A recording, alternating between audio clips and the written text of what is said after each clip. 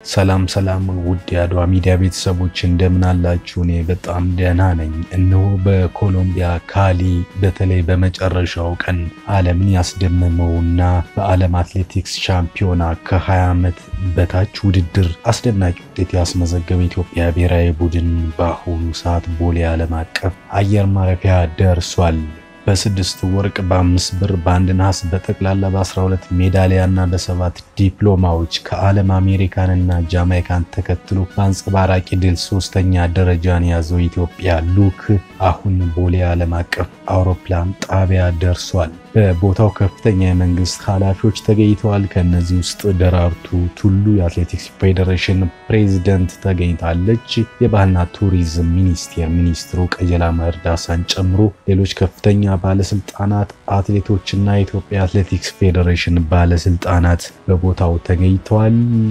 እጅግ ደማቅ አቀባበል እየተደረገ ነው የሚገኘው በአሁኑ ጊዜ። ከነዚህ በተጨማሪም ሌሎች የመንግስት ኃላፊዎች፣ ጥሪ የተደረገላቸው የክብር እንግዶች፣ ከአትሌቲክስ አመራሮች በተጨማሪ የሚዲያ አካላት በስፍራው ተገኝተዋል። በአሁኑ ጊዜ ለአትሌቶች የአበባ ጉንጉን የማልበስ ስነ ስርዓት እየተከናወነ ይገኛል። ይህ ደማቅ ስነ ስርዓት በአትሌቶችና በተቀባይ እንግዶች ዘንድ ያለው የደስታና የክብር እንዲሁም የፍቅር ስሜት የሚገርብ ድባብን ፈጥሯል። በነገራችን ላይ አሁን አቀባበል ከተደረገ በኋላ ወደሚያርፉበት የስካይላይት ሆቴል እንደሚጓዙ ፕሮግራም ያሳያል። በነገው ዕለት ከማለዳው አንድ ሰዓት ጀምሮ ደግሞ ቡድኑ ከስካይላይት ሆቴል በመ መነሳት በክፍት መኪናና በከተማ ባሶች ታጅቦ በአዲስ አበባ ከተማ የተመረጡ ዋና ዋና መንገዶች ዝውውር ያደርጋል። ልክ እንደ ባለፈው በአሜሪካ ኦሬገን እንዳሸነፉት እንደ ታላላቆቹ ወይም እንደ አዋቂዎች ውድድር ማለት ነው። በዚህም ደስታቸውን ከአዲስ አበባ ሕዝብ ጋር ይገልጻሉ። በአዲስ አበባ ከተማ የተመረጡ ዋና ዋና መንገዶች በመዘዋወር ለአትሌቲክስ ስፖርት ወዳዱና በደስታና በፍቅር እንዲሁም በስሜት ሲደግፋቸው ከነበረ የአዲስ አበባ ህዝብና የኢትዮጵያ ህዝብ ጋር ደስታቸውን ያጣጥማሉ። ቡድኑ በአዲስ አበባ የሚዞርበት ዋና ዓላማው የኢትዮጵያን ህዝብ እንኳን ደስ አላችሁ ለማለትና የተፈጠረውን አገራዊ አንድነት ለማጽናት እንደሆነ መረጃዎች ያሳያሉ። ከዛ የደስታ መግለጫ በኋላ በክፍት ባስ እና ወርቅ ያመጡት ደግሞ በጥቁር መኪና በክፍት ጥቁር መኪና ሆነው እየዞሩ ሜዳሊያቸውን በመያዝ የኢትዮጵያን ህዝብ ጋር ደስታቸውን ካጣጣሙ በኋላ ወደ ስካይላይት ሆቴል እንደገና ይመለሳሉ። በዛም ደማቅ የሆነ የማበረታቻ ሽልማትና እውቅና መርሃ ግብር ይኖራል። እንዲሁም የምሳ ግብዣ ይደረጋል። በነገው ፕሮግራም ላይ ኢትዮጵያውያን የአዲስ አበባ ነዋሪዎች በየመንገዶቹ በመውጣት ደስታቸውን እንዲገልጹ ጥሪ ቀርቧል። የፕሮግራም ለውጥ ካልተደረገ በስተቀር መረጃዎች እንደሚያሳዩት አትሌቶቹ ከስካይላይት ሆቴል በመነሳት በቦሌ አድርገው በአራት ኪሎ ከዛም በቴዎድሮስ አደባባይ በማድረግ በስቴዲየም አድርገው በስቴዲየም በማድረግ ወደ ስካይላይት ሆቴል ለምሳ እንደሚያቀኑ ይጠበቃል። በነገራችን ላይ ኢትዮጵያ የዓለም ከ20 ዓመት በታች አትሌቲክስ ሻምፒዮና ለመጀመሪያ ጊዜ የተሳተፈችው በ1978 ዓመተ ምህረት ነበር። በሻምፒዮና ኢትዮጵያ በመጀመሪያ ተሳትፏ ሜዳሊያዎችን ማግኘት የቻለች ሀገር ናት። ነገር ግን ከዓለም 14ተኛ ነበር የወጣችው። ኢትዮጵያ ከ30 ዓመት በፊት በግሪክ አቴንስ በተካሄደ የመጀመሪያው ሻምፒዮና በውስን ዘርፎች የተወዳደረች ቢሆንም ወርቅን ጨምሮ አራት ሜዳሊያዎችን ማግኘት ችላለች። ኢትዮጵያ ከዛን ጊዜ ጀምሮ የምትሳተፍባቸው ውድድሮችና የምታሳትፋቸው አትሌቶች ብዛት እየጨመረ የምታደርገውን ፉክክር እየጠነከረ መጥቷል። ከአራት ዓመታት በፊት በፊንላንድ አዘጋጅነት በተካሄደው ውድድር የሶስት ወርቅ የሁለት ብርና የአራት ነሐስ ሜዳሊያዎችን በማግኘት ከዓለም አራተኛ ከአፍሪካ ደግሞ ሁለተኛ መሆን ችላለች። ከሁለት ዓመት በፊት በኬንያ ናይሮቢ በተካሄደው የዓለም ከ20 ዓመት በታች አትሌቲክስ ሻምፒዮና ደግሞ በሶስት ወርቅ በሰባት ብርና በሁለት ነሐስ በድምሩ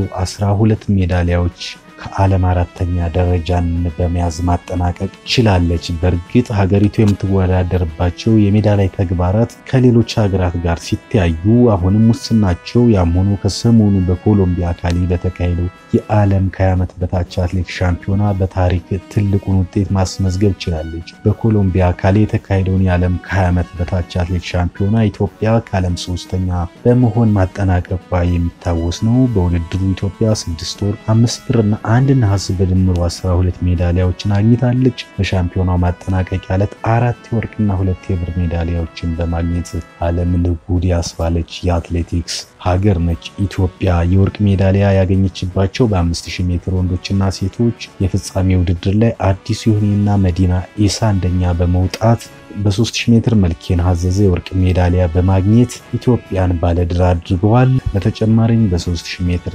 መሰናክል ሳሙኤል ዱጉና ለኢትዮጵያ ወርቅ ያስገኘ ሲሆን በ1500 ሜትር ሴቶች ብርቅ ሀየሎም ወርቅ አስመዝግባለች። እንዲሁም ኤርሚያስ ግርማ ደግሞ በ800 ሜትር ለኢትዮጵያ ሌላ ወርቅ ማስመዝገብ የቻለ ወጣትና ታታሪ አትሌት ነው። እነዚህ አትሌቶች በአሁኑ ሰዓት ደማቅ አቀባበል እየተደረገላቸው ነው። አሁን ደማቅ አቀባበል እየተደረገላቸው ከሚገኙ አትሌቶች አንዱ ኤርሚያስ ግርማ በ1500 ሜትር፣ ሳሙኤል ክለው በ3 ሺህ ሜትር መሰናክል፣ ጽዮን አበበ በ3000 ሜትር መሰናክል፣ መልክናት ውዱ በ5000 ሜትር እንዲሁም ሲምቦ አለማየ በ3000 ሜትር መሰናክል የብር ሜዳሊያ ያመጡ ሲሆን መሰረት የሻነህ በበኩሏ በ3000 ሜትር ለኢትዮጵያ የነሐስ ሜዳሊያ አምጥታለች። ኢትዮጵያ በአጠቃላይ በሻምፒዮናው ሰባት የወርቅ አራት የብርና አራት የነሐስ በአጠቃላይ 15 ሜዳሊያዎችን በማግኘት በአጠቃላይ በሻምፒዮናው አሜሪካ ሰባት የወርቅ አራት የብርና አራት የነሐስ በአጠቃላይ 15 ሜዳሊያዎችን በማግኘት አንደኛ ስትሆን ጃማይካ ስድስት ወርቅ ሰባት ብርና ሶስት የነሐስ በአጠቃላይ 16 ሜዳሊያዎችን አግኝታ ሁለተኛ ነች። ኢትዮጵያም ከአፍሪካ የመጀመሪያ ደረጃን በመያዝ ከዓለም ሶስተኛ ወጥታለች በ12 ሜዳሊያዎች። ይህ ውጤት የሚያሳየው ኢትዮጵያ አሁንም በአትሌቲክሱ ዘርፍ በርካታ ታታሪና ተወዳዳሪ አትሌቶችን ማፍራት እንደምትችል ነው። በተለይ ኤርሚያስ ግርማ በጣም ወጣትና በስፖርት ሳይንስ የተደገፈ ልጅ ነው።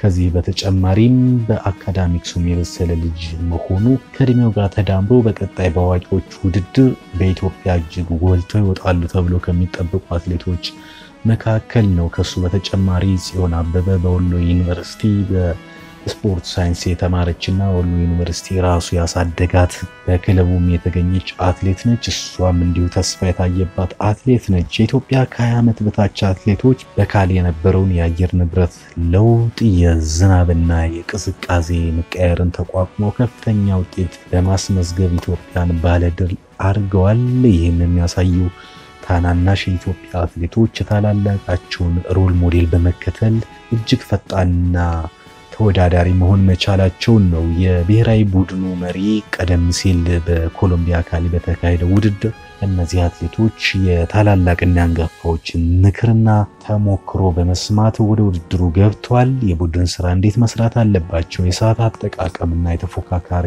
ስነ ልቦና ጋር የሚስተካከል አቋም መገንባት የሚቻልበትን መንገድ ከአንጋፋዎቹ ሰምተዋል። ይህም ለድሉ ከፍተኛ አስተዋጽኦ አበርክተዋል ሲሉ ገልጸዋል። አሁን በኢትዮጵያ የደስታ ድባቡ ጨምሯል። በአትሌቶቹ በስኬት ወደ ሀገራቸው ገብተዋል። በሰላም ቦሌ ደርሰዋል። አቀባበሉ እየተደረገ ነው። ዛሬ ወደ ስካይላይት ሆቴል ካረፉ በኋላ እንደነገርኳችሁ ነገ እጅግ ደማቅ አቀባበል ይደረግላቸዋል። በዋና ዋና የአዲስ አበባ ጎዳናዎች በጥቁርና በክፍት የአትሌቲክስ መኪና ጉዞ ያደርጋሉ። አዲስ አበባ በአጭር ጊዜ ከወር ባልበለጠ ጊዜ ውስጥ እጅግ ሁለተኛውን የደስታና የፍቅር ድባብ ልታስተናግድ በዋዜማ ላይ ትገኛለች። ሞቅ ደመቅ እያለች ነው። ስለዚህ አትሌቶቹ ጋር ደስታችሁን መግለጽ ትችላላችሁ። ልክ እንደ ባለፈው ባለፈው ደራርቱ ቱሉን ጨምሮ ሌሎች አትሌቶች በክፍት መኪና በመሄድ ደስታቸውን ከኢትዮጵያውያን ጋር ሲገልጹ ታስታውሳላችሁ። እኛም በቦታው ነበር። አድዋ ሚዲያ ይህን ታላቅ ዝግጅት እየተከታተለ ለእናንተ ማድረሱን ይቀጥላል። ለመሆኑ እናንተ ምን ተሰማችሁ? አትሌቶቻችሁን እንዴት ለመቀበል ተዘጋጅታችኋል? እኛ ዝግጁ ነን። እንደተለመደው መረጃዎችን ለእናንተ ለማድረስ መልካም ጊዜ። ሀሳብ አስተያየታችሁን አጋሩን። like፣ share፣ subscribe በማድረግ እንደ ሁልጊዜው አዳዲስ መረጃዎች እንዲደርሷችሁ ይሁን። እናመሰግናለን። ሁሌም ድል ለኢትዮጵያ ይሁን። መልካም ጊዜ። ቻው ቻው።